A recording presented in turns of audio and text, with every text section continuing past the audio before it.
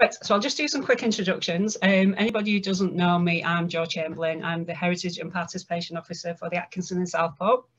Um, I'm sure that if you're listening to today's talk, you know about the exhibition which we are now holding, which is I Was Born 80s. Um, and today we've got the curator of the exhibition, which is Matt Fox, who is going to be talking about the exhibition um, and about his love of collecting and some of the things that he has collected. So um, for the duration of the talk, you are going to be on, uh, your uh, computer are going to be kept on uh, mute.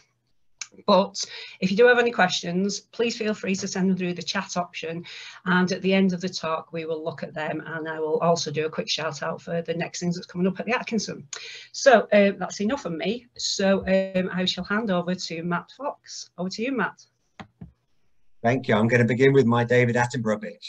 Our species, Homo sapiens, has existed on planet Earth for the past 300,000 years, generation after generation of children, growing, playing, learning, trying to make sense of the world around them.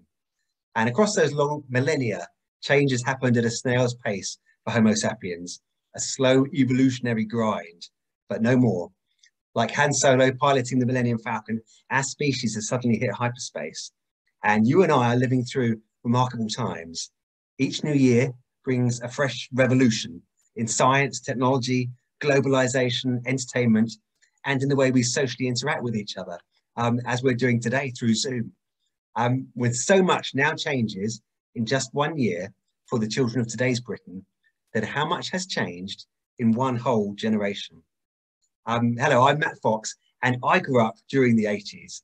I was born in 1972, and so I spent those formative years from age 8 to 18 experiencing that decade, which I'm here to talk about today. And those like me who grew up pre-internet in the 1980s can genuinely state that life was very different then. And we can investigate that through the objects, the pastimes, the treasures that 80s kids held dear. We can consider the shared cultural experience of childhood in the 80s as the limitations of the time also served to bond us together Although strangers, one child of the 80s can say to another, I know what you watched, uh, I know what you played with, I know what you read, I know you because I experienced those things too. Now I'm going to share my screen with you guys. Um, as Jo said, this presentation acts as an accompaniment to the I Grew Up 80s exhibition at the Atkinson in Southport. You don't need to have visited that but if this talk does inspire you to do so, then I'll mention that it's free to visit and it's on at the Atkinson until the 19th of March. So um, like Bill and Ted in their phone booth or Marty McFly in his DeLorean, let us take a most excellent adventure back in time to revisit 10 remarkable years, the greatest decade in the history of history, the 1980s. Now, after evoking uh, Back to the Future, uh, I think it's only fair that our whistle stop tour of the 80s charted uh, begins with the cinema.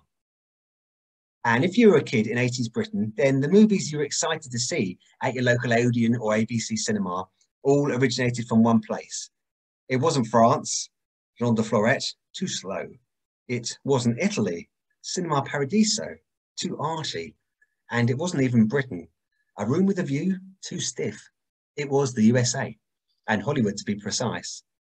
The top 20 hits at the UK box office during the 1980s were all US productions. The 60s and 70s had been characterized by challenging, bleak, and sometimes discomforting cinema. But the unprecedented success of Star Wars at the end of the 70s had convinced Hollywood that perhaps all audiences actually wanted was a good time. And uh, talking of Star Wars, the black and white image top right was the Cannon Cinema in Sutton, Surrey, where I made my very first trip to the cinema in 1978. And the film I saw there was Star Wars. The cinema to the upper left, uh, showing Police Academy, was Ewell Cinema, and that was my other local. They were both about the same distance from my house. And the cinema in the middle, you might recognize as the classic cinema in Southport. Um, the eagle-eyed might even better spot that it's showing Rocky 3, uh, which dates this photo to 1982. Pessimism was shown the door and, and anything is possible optimism would carry through many of the movies of the decade. Films such as The Karate Kid, Footloose, and Dirty Dancing delivered a triumphal message to the youth of the day that if you tried hard, you could succeed against the odds. They also leaned heavily on music. This was the decade of MTV and the music video, and the soundtrack album for Dirty Dancing sold an incredible 3 million copies in the UK alone. Another recurring theme that defined the cinematic decade could be described as fantastical suburbia. An ordinary American suburb in which extraordinary events occur, and it's up to the kids to fix things. And this can be seen in films like Gremlins, A Nightmare on Elm Street, Goonies, The Lost Boys, Bill and Ted's Excellent Adventure. And it's also the theme behind the decade's biggest box office hit, Steven Spielberg's E.T., The Extraterrestrial, in 1982. The beautiful poster art for E.T. is by John Alvin, and it recreates Michelangelo's creation of Adam. Uh, it also crucially preserves the mystery of what E.T. looked like. John Alvin was one of many artists who made their living painting movie posters. And um, at the end of the 80s, the introduction of Photoshop resulted in the era of hand-painted movie posters disappearing almost overnight, and those who painted them having to find alternate work. One poster artist who wasn't going to go quietly was Adrian Perkis. He did the movie poster for 1983's Trading Places, which was the breakout hit for Eddie Murphy, uh, who would go on to be one of the decade's biggest stars with the likes of Beverly Hills Cop and Coming to America. Um, Perkis sneaked his signature into the poster art, making it appear as graffiti on the bathroom wall. Another artist I must mention is local lad Josh Kirby from Merseyside. Kirby painted Return of the Jedi's movie poster for the British campaign in 1983. And uh, here we see the three meter sized banner uh, of Kirby's art being hung at the Atkinson in the exhibition back in 2016. Harrison Ford was obviously one of the stars of Return of the Jedi. And of course, he also made three Indiana Jones movies throughout the 80s. This movie poster was painted by Richard Amsel and captures a really wonderful likeness of the actor. Um, another artist, Mike Salisbury, designed the now iconic title font, uh, which perfectly encapsulates the movie's sense of adventure.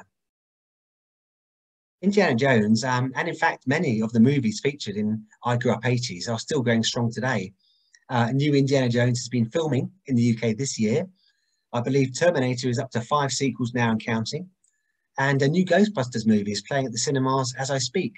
Um, these sequels may not all be good films, but it's a testament to 80s movies that their cultural impact um, is still being felt today. And cinemas weren't the only source of movies for an 80s child. There was also the video shop.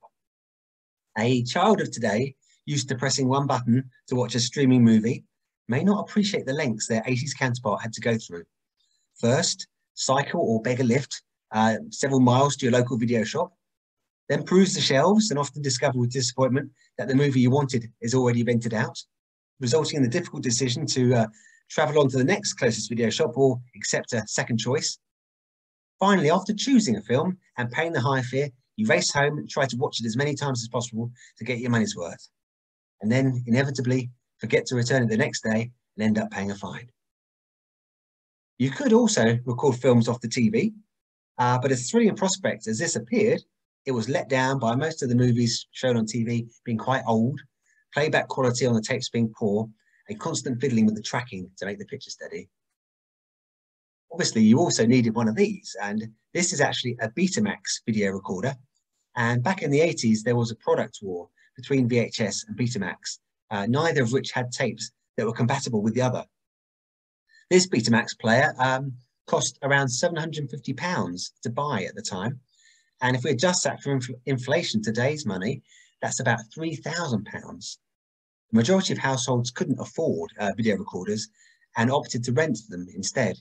And the high street chain uh, rent, radio rentals had over 500 stores around the country um, at their peak. Uh, I, I, might also add that if you had bought a Betamax, it would have been an expensive mistake as VHS ultimately won out and became the industry standard and Betamax faded into obscurity. Um, moving on from movies, there was always the option of a good book instead. The 1980s was an exciting time in literature for children. The country was moving away from the twee and cozy tales, such as Rupert the Bear and Famous Five, and towards something rather spikier and more eccentric. Uh, Douglas Adams and Terry Pratchett were bringing a Python-esque British sense of humour to the previously po-faced genres of sci-fi and fantasy, with the restaurant at the end of the universe and the colour of magic. Sue Townsend uh, truthfully and hilariously presented the worldview of a 13-year-old British boy in The Secret Diary of Adrian Mole. Choose your own adventure books, such as The Warlock of Firetop Mountain, enabled young readers to actually participate in the story with their decisions determining what would happen next. And in the same year as the uh, Snowman cartoon aired, illustrator Raymond Briggs released When the Wind Blows, a 1982, a bittersweet tale of a loving elderly couple after a nuclear attack on Britain. And American author Stephen King was prolific and popular throughout the decade, with many of his books being made into movies, uh, including Christine in 1983, and his stories of small town horror uh, later influencing the likes of TV shows Stranger Things, as we see today. Um, 80s kids also enjoyed comics and magazines. Uh, there was the Beano with its anarchic cast of characters who got up to all manner of politically incorrect pranks uh, dishonesty, bullying, truancy. Um, had great success with its fan club, uh, achieving 1 million members in 1988. 2000 AD, starring the ultra-fascist uh, lawman Judge Dredd, who was judge, jury and executioner of criminals in Mega City 1, launched in 1977 and achieved peak readership of 250,000 in 1988. Storyteller magazine ran from 1982 to 85 and is fondly remembered for artfully presenting classic fairy stories, aided by a talking book cassette. Jackie for Girls, which featured photo stories, typically about boyfriends, was the lead teen magazine at the start of the decade, but it was overtaken in the mid 80s by newcomer Just 17, which was achieving incredible UK sales of 500,000 copies per week. And smash hits featuring interviews, features, and song lyrics uh, it was actually one of the only ways to discover our song lyrics prior to the internet, launched in 1978, uh, but achieved peak popularity in the late 80s with a million selling issue in 1989. All these successful publications were British made and they helped give readers common ground and a shared cultural identity. Um, since the rise of the internet in the 90s, kids' publications have been in decline and readerships are now a fraction of their 80s heyday. For young people at this time, another thing that we bonded over was the singles chart. This was a significant playground topic, and thanks to Top of the Pops, which aired every Thursday evening to an audience of 15 million, the youth were well informed and knowledgeable of each week's movers and shakers. High street shops such as Woolworths and Our Price also devoted considerable display space to the singles chart, uh, with records clearly arrayed in chart order. Indeed, the 1980s was a period in which British music achieved a level of worldwide success that it hadn't since the height of the Beatles. This was a combination of old talent and new. A number of veteran artists uh, successfully transitioned to the synth rock sound. Uh, Queen and David Bowie, as you see here, also the likes of Genesis, Elton John, Paul McCartney, in some cases having their greatest commercial success in the 80s. Whilst the host of new British acts broke through, whilst the host of new British acts broke through uh, with spectacular sales on the international stage, and these included Duran Duran, who are actually still going strong today. Uh, the Rio album cover, painted by artist Patrick Nagel, has to rank as one of the most iconic covers of all time. The Police, led by frontman Sting, uh, who you could say were the Coldplay of their day, uh, they were described in 1983 by Rolling Stone magazine as the biggest band in the world. Another new act was the Eurythmics, with lead singer Annie Lennox, who provided an image of female power on 1983's Touch album cover with her dramatic orange crew cut and black mask. And George Michael, who dominated the UK charts with his pop group Wham, and then went on to become a global megastar when he went solo with his Faith album. And there was Southport born singer Marc Almond, who had a string of hits in the early 80s, most notably Tainted Love, which not only sold over a million copies in the UK, but spent a then record breaking 43 weeks in the US top 100. The advent of MTV and the new importance of music videos to promote record sales were a boon, as the UK had a strong tradition of technical excellence in film production and also plenty of acts enjoyed dressing up for the cameras Adam and the Ants, Culture Club, Frankie Goes to Hollywood, and the Thompson Twins, as we see here, to name but a few. As successful as our homegrown music was, the 80s music scene wasn't all about Britain, and I have to mention the big three American stars. Michael Jackson, who delivered a blistering dance routine with a phalanx of zombies in the 14 minute music video Thriller, uh, which is frequently named as the greatest music video of all time. Uh, Madonna, who wasn't just a music icon, but also a fashion icon and star of the movie Desperately Seeking Susan. And the incredibly prolific Prince, who racked up 20 top 40 hits in the UK charts throughout the 1980s. Let's also take a look at how we listened to music in the 80s. This is the mighty Casio KX101 stereo from 1984, which earns the title King of the Boomboxes, with 131 individual buttons and dials, including its own keyboard. This 8 kilogram example of 80s success is very different to Alexa and the minimalist speaker dock systems of today. This next music player needs little introduction, the Sony Walkman. It was the original personal stereo of the 80s and so definitive that the multitude of rival products were often nicknamed Walkmans too. As the first personal tech that you carried on your person, it laid the groundwork and prepared the market for the smartphones that we carry today. Let's move now from music to fashion. For girls, the 1980s were a fantastic period of feminine empowerment, and so many of the fashion trends emphasized strength and vitality. From shoulder pads and bat wings to big hair and bright colors, 80s girls dared to be bold. Our mannequin here is modeling jelly shoes, which were low-cost, colourful PV sandals uh, that proved popular casual wear for 80s girls. Leg warmers and leggings were a fashion fad in the early 80s, driven by movies like Fame and Flashdance, and also by the mass popularity of aerobics at that time. Uh, Jane Fonda's workout video sold over 1 million copies in 1982. Um, the model also wears a rah-rah skirt and combined dancewear tutus with the miniskirt of the 60s to create a new fashion trend that was widely worn. Fingerless gloves and wrist bangles were also popular accessories at the height of the decade. Uh, both lace and leather gloves were sported by trendsetters uh, such as Madonna, Cyndi Lauper, Billy Idol, and a-ha. Bat wing sleeves and shoulder pads helped define the 80s look, and the phrase power dressing was coined to describe it. Geometric shapes and vivid prints were also popular.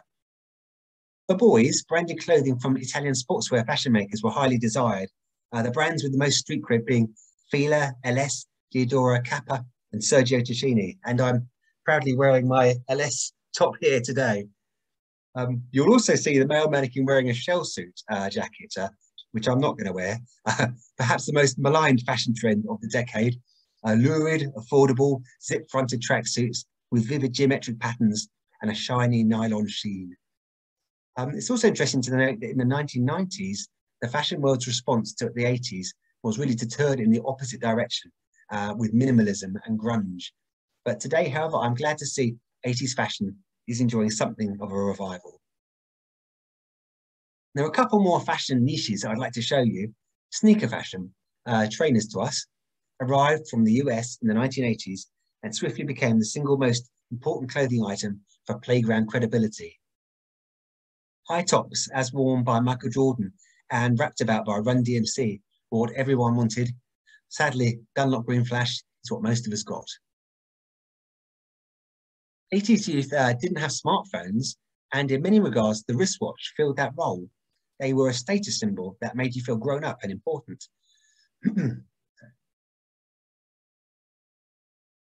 You see the calculator watch there, which enjoyed peak popularity in this decade, and swatches were also popular. Uh, the name swatch or the word swatch uh, stands for second watch, as they were intended to be a cheap disposable companion to a traditional Swiss watch. And this made them perfect for young teenagers, and many are now considered pop art design classics. School bags uh, were another fashion accessory of some sort.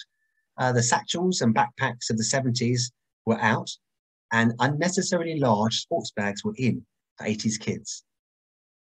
Head's iconic and very exotic sounding Monte Carlo bag uh, was way bigger than any kid needed. but on the smaller scale, the bum bag enjoyed an unlikely moment of popularity also with 80s youth culture. And here's something that you might have found within the school bag. Um, uniforms and textbooks may have been dictated by the school rules, but uh, pencil cases proved 80s pupils with some leeway to show off. Um, this now iconic example by a British stationers Helix uh, proved particularly popular. And one of the most pervasive school fads in the 80s uh, was collecting rubbers. Manufacturers obliged by creating ever more colourful, novelty shaped, smelly scented designs for kids to uh, fill their pencil cases with. You'd also, of course, need some money for the canteen or tuck shop. And here's some currency. We have the half penny coin used to buy sweets. Uh, that was withdrawn in 1984. And the one pound note, that left us in 1988 after the one pound coin had come out in 1983. Um, the silver coins were also reduced in size during the 90s.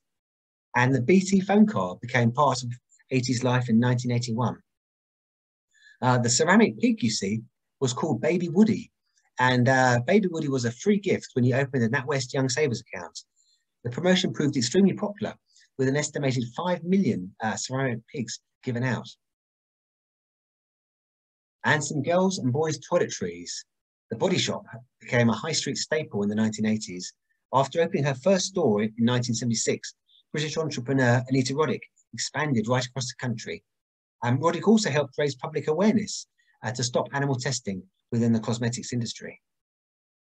The uh, popular cosmetic brands for boys in the 1980s were rather more uh, budget conscious, with hindsight Insignia's packaging design and description as an all over body program does make it rather appear like a product to wax your car with. Now, if you didn't live through the 80s, then you've probably no idea what this odd gadget is. Um, it's called a Dymo label maker, and you'd buy them in shops like WH Smith's and John Menzies. You turn the dial to choose your letter, then squeeze it to imprint it on the embossing tape. Um, it was used to make labels for mixtapes, computer games, blank videos, lunchboxes, and anything else an 80s child might want to personalise. Now, there are two more areas of my collection that I want to show you, um, food and toys. Uh, now, let's start with food. For a collector, you'd be surprised how hard it is to find food items from the 80s. At the time, chocolate bars like these were ubiquitous, produced in their thousands, if not millions, but no one kept them. Uh, you may or may not recognize the chocolates here. Uh, peanut treats at the back were discontinued in 1988. And in the early 90s, Marathon was rebranded as Snickers and Opal Fruits became Starburst. Uh, 54321 with this catchy advert jingle. 54321, 54321. Uh, that was a real 80s chocolate bar as it never left the decade. Uh, released at the start of the decade and discontinued in 1989. Uh, these three I describe as lunchbox bars, and you'd be quite jealous if one of the kids at your school pulled one of these out in the canteen. And again, they were well marketed to kids with memorable catchphrases. Um, 80s kids didn't have memes. Uh, this was about the closest we got. Don't take away my breakaway. I want a trio and I want one now. And if you like a lot of chocolate in your biscuit, join our club. And breakfast cereals were also fiercely marketed at children in the 80s um, in a way that they simply aren't today. Um, they often had colouring images or transfers on the back of the box as an activity and a free gift inside the box that had kids sticking their arm in the cereal and having a good rummage around. Of course, times change and things that were acceptable in the 80s might not be now. Um, every newsagent and sweet shop in the country sold sweet cigarettes and top deck shandy. So six year olds would be enjoying a pretend puff on their cigarettes whilst parents looked lovingly on and uh, children drank top deck, uh, which did contain contain 2% uh, alcohol. So beer and fags for kids, great stuff. And back in the 80s, you could smoke uh, in McDonald's and most other places. Uh, but McDonald's was the most child-friendly restaurant in the country. So you'd be there for some kids' party, and their mum and dad are smoking Benson and Hedges at the table whilst you're trying to enjoy your Big Mac. And here we have some 80s drinks. Um, before it was a uh, Mexican beer, or indeed a global pandemic, Corona was British fizzy pop, uh, which came in some unusual flavours like dandelion and burdock that you see here. In an early example of recycling, kids could also return a glass bottle to earn some extra pennies. There's the wonderfully colourful Quatro can and uh, Lucozade, which despite containing more sugar than Coca-Cola, um, was marketed as a medicinal drink in the 1980s. If you were feeling poorly and kept home from school, a glass of Lucozade on the bedside table was often one of the perks. And uh, you can make your own drinks with SodaStream. This was a must-have kitchen fad in the 80s. An amazing 40% of British households um, got busy with the fizzy and owned a SodaStream. After dipping in popularity in intervening years, SodaStream has recently made a bit of a comeback uh, for fizzy water. And as for Mr. Frosty, uh, well, a slush puppy maker in your own home was every kid's dream. Um, but in reality, Mr. Frosty's ice grinder really didn't work very well and took ages to make a drink. Now, um, I think I've saved the best till last, so let's now talk about the good stuff, 80s toys. And um, we have to begin talking about toys with the Rubik's Cube. Uh, and I believe on Saturday there's actually going to be a Rubik's Cube competition held at Atkinson. So if anybody fancies their chances, then do uh, investigate that on the Atkinson's website. Now, if you were looking for one single iconic object to sum up the decade, then you'd have to choose this one. During the height of the Rubik's Cube craze from 1980 to 83, an estimated 200 million cubes were sold. They were invented by a Hungarian named Erno Rubik, and you can tell from the little sticker on, on the center top in this image that this one is a genuine cube, uh, but millions and millions of bootlegs and unlicensed versions flooded the market too. After the phenomenal success of the cube, Erno Rubik followed it up with the Rubik snake and several other variations on the theme. Unlike the cube, the snake is not a solvable puzzle, but a, a tool to create shapes. For example, a little doggy, as you see here. Another colourful icon of the decade was Simon. This was an electronic memory game where the coloured buttons flash and the player must remember an ever-increasing sequence. And this was the era of electronic games, the 80s. So uh, let's take a look at a couple more. The iconic Speak and Spell uh, with membrane buttons came to the UK in 1980 and was an instant hit with both parents and children. Um, it was an educational tool, so the parents loved it, but also a cool electronic game. And it even appeared in the hit movie E.T. Nintendo produced uh, Game & Watch titles from 1980 to 1989, the three small ones you see at the front. Um, each was just a single game and relatively low cost. The British company Grandstand also had some success with handheld versions of popular arcade titles Scramble and Space Invaders. This one is not so much a toy, um, but the VL Tone was a big seller in the UK it was a miniature digital synthesizer, and even kids like myself with absolutely zero musical talent wanted one, um, mainly thanks to its funky rhythm presets, which uh, made it look like you were playing something really good. However, if there was one electronic 80s toy that I desired above all others, it was Big Trak. This futuristic rover could be programmed to drive around independently and fire its laser with a sequence of up to 16 commands. The retail price of $39.95 about 150 pounds in today's money, Big Trak was an expensive and aspirational toy for an 80s child. I had one at the top of my Christmas list back then, but I never got it. However, I've got one now. Take that, Santa. Whilst we're on the subject of electronic entertainment, I must also mention the good old ZX Spectrum. Arriving in 1982, the quirky ZX Spectrum was the most successful of the microcomputers created by electronics entrepreneur Sir Clive Sinclair. It sold over 5 million units and inspired a whole generation of British kids to try their hands at coding on its squidgy rubber keyboard.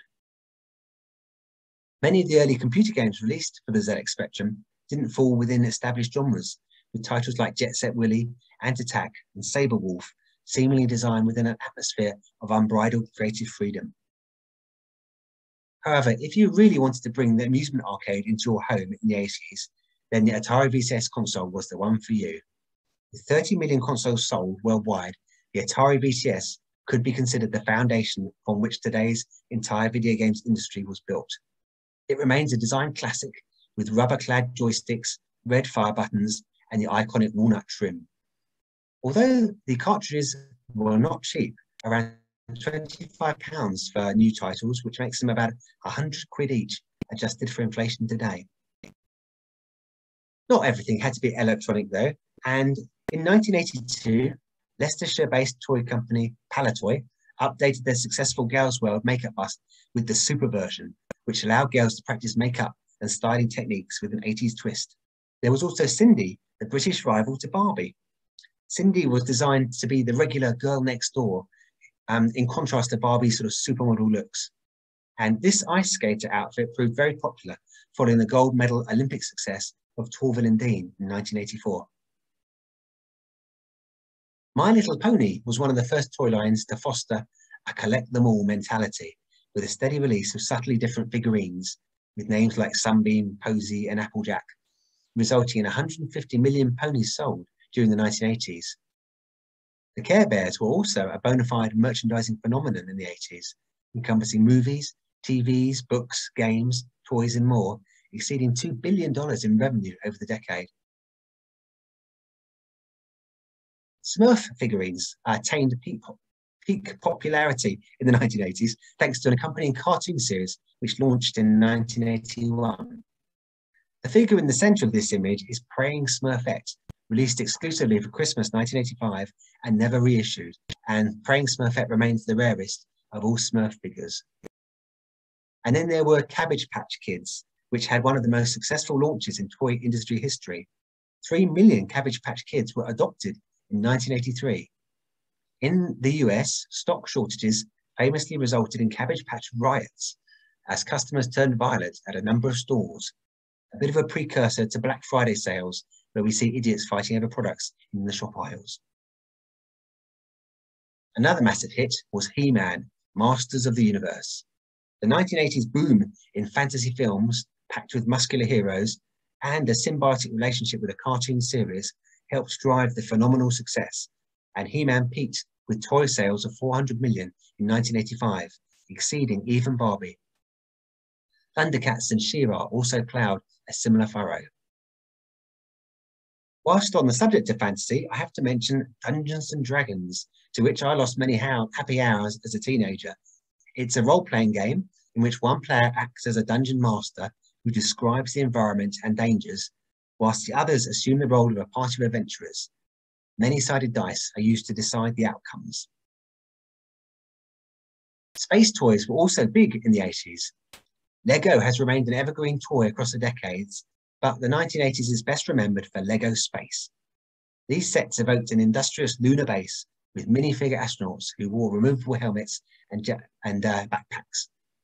Uh, not to be outdone, Playmobil also jumped on the space bandwagon the spacesuits reminiscent of those seen in the movie 2001.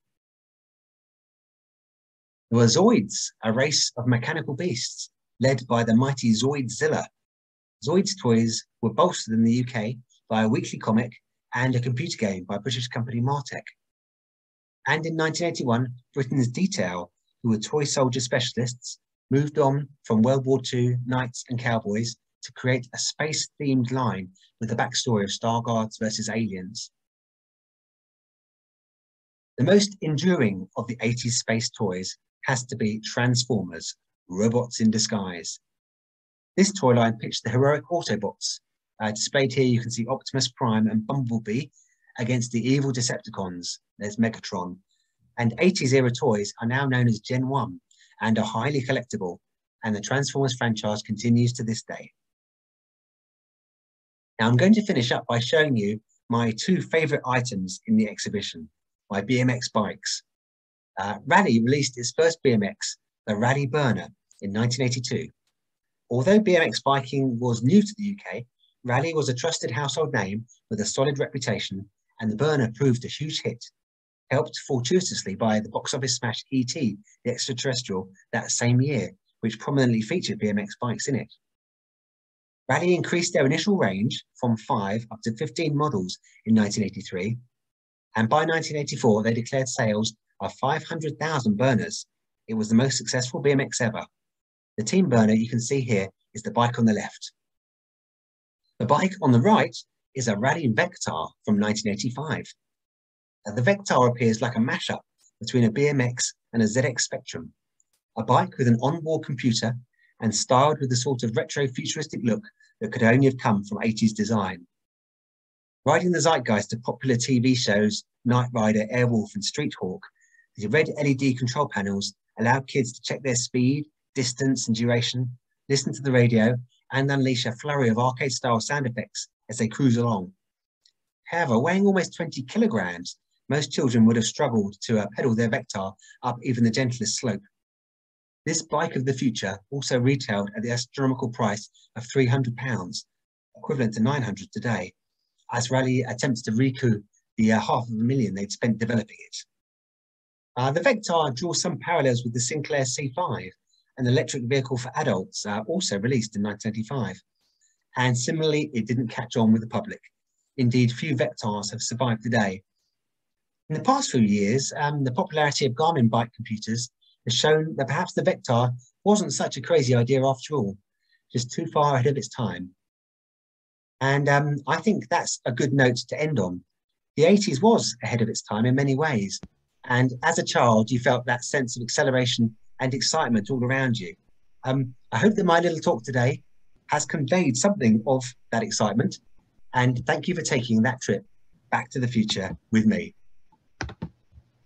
Oh, thanks, Matt. Um, that was wonderful. Um, I have to say, uh, I mean, and I'm not on my own saying this, the whole thing with the 80s, uh, you got me thinking about sort of why I was so fond of it. And I suddenly realised that beginning of the 80s, I was sort of of an age where I wanted to go out but wasn't old enough to get in pubs and things. So the early 80s was the cinema because um, that's where you know me and my best friend could go like every week and see the new film that would come out and we did.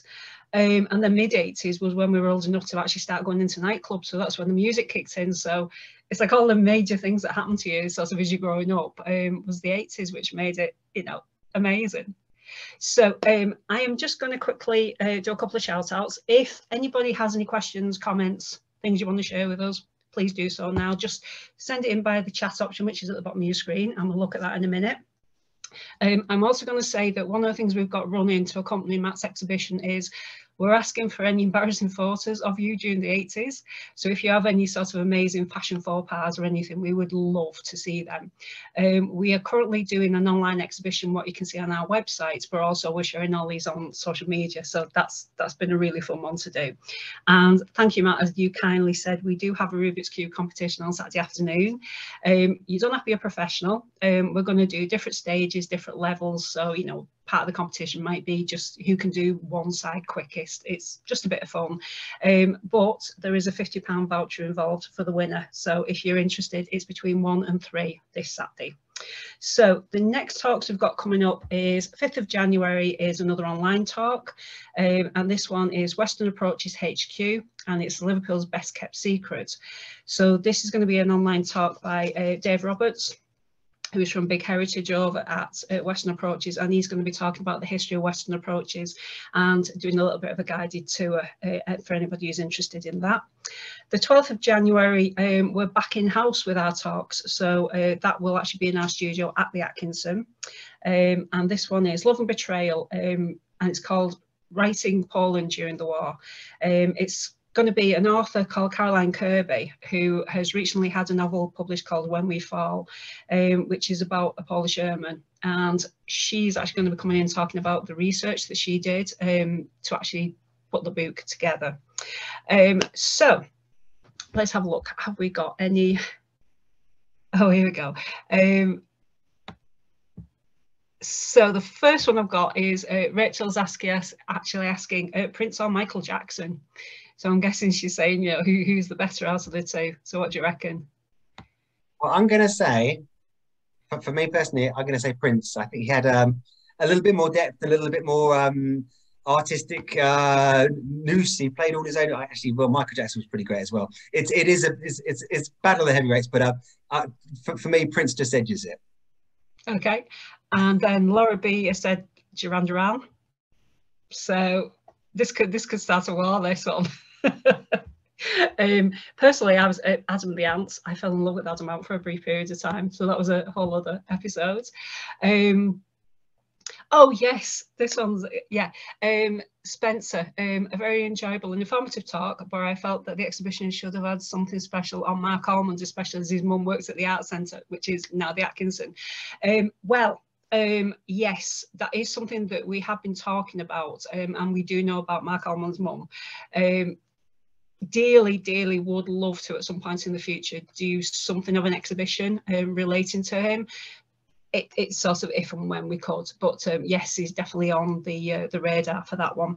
Um, one of the things I'd like to ask you, Matt, is what what would you think is your defining moment of the 80s? Oh, I'd, I'd have to say um, Band Aid. I, I think that, yeah. that was just one of those kind of, you know, everyone sort of remembers where they were when that was on. And, uh, you know, I didn't, sadly, I was a bit too young to have tickets to go and see it. But um, I remember sort of sitting there pretty much all day with it with it playing on. And um, obviously Queen, again, they, they rec- recreated it in the recent Bohemian Rhapsody film. And um, I'm a big fan of Queen, so I, I, I love that. And it was just a sort of a collective moment where we all got together as a country to do something really good, something really positive and um, people power. So it had to be Band Aid. Yeah, yeah, no, I agree. That's amazing.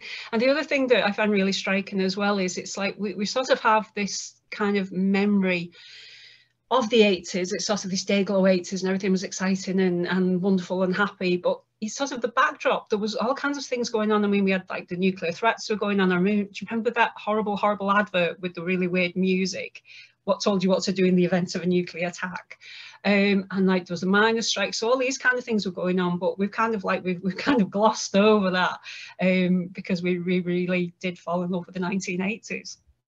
Yes, I mean my, my exhibition really tries to look at it from the child's perspective, the child's eye view, and obviously. Yeah you know, a, a, lot of stuff we, we, we kind of see in the media about the 80s is Margaret Thatcher and Falklands War and miners' strike, uh, you know, and these kind of like big, heavy issues. And um, I, I really wanted to, um, you know, give uh, my experience of the 80s as a, yeah. as, a, as, a, as a young kid.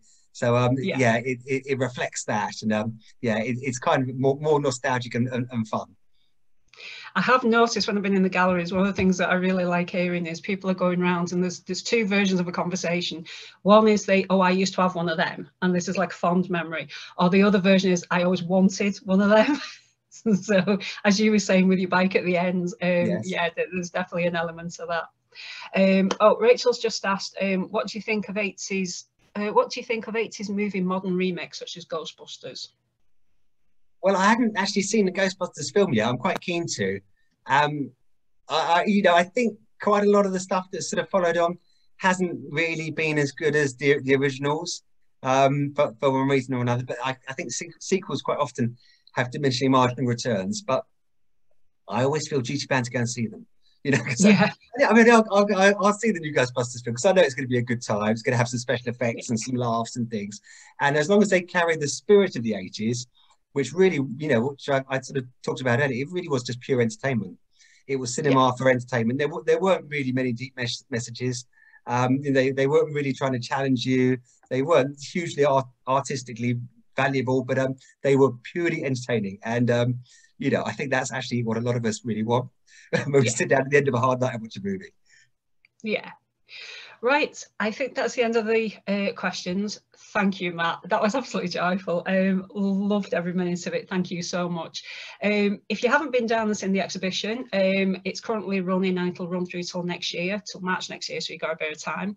Um, we are currently open Monday to Saturday, 10 till 4. Um, so if you want to come along and see it, please do. We have a, a working arcade game, so you can play Donkey Kong and Miss Pac-Man, isn't it? That's one of the other games. Uh, just bring 50p and uh, you can knock your socks off and uh, relive the 80s. So uh, thanks, Matt. Thoroughly enjoyed that. Um, please come along and see the exhibition and hopefully we'll see you all again soon. Take care. See you soon. Bye-bye.